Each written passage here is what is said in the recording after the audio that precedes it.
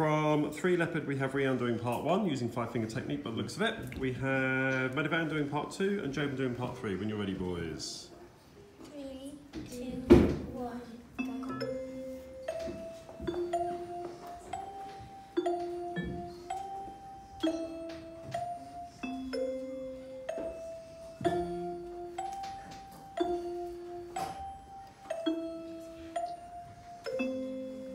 Give the boys a round of applause.